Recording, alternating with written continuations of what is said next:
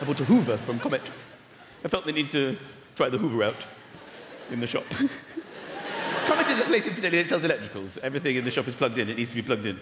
But nothing is actually plugged in in the shop. So it's filled with people trying things out not for their primary function. People are buying fridges on the strength that it opens and it closes. And it's silver.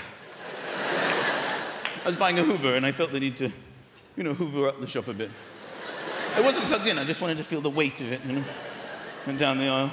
In fact, somebody else was trying their Hoover and hoovered past me. Hello, good Hoover. I Because that's my hoovering technique. I, uh, I walk with my Hoover. There are two very distinctive styles of hoovering. Either you hoover like me, where you walk with your Hoover like this. Ooh.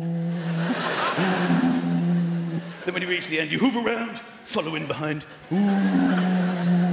Or you stand your ground and hoover out. Ooh.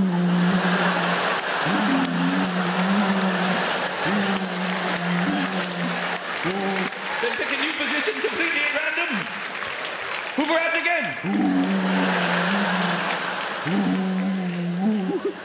I like the Hoover challenge when there's something in the carpet that could potentially ruin your Hoover.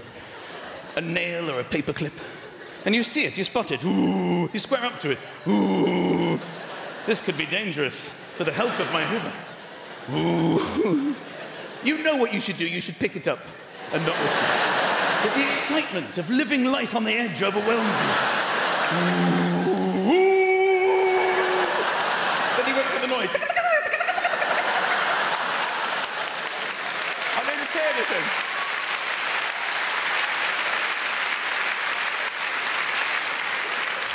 I like it when it's hose time.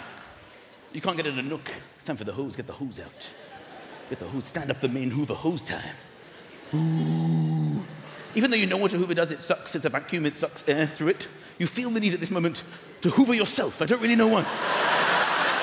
you feel the excitement building within you. Ooh. Ooh.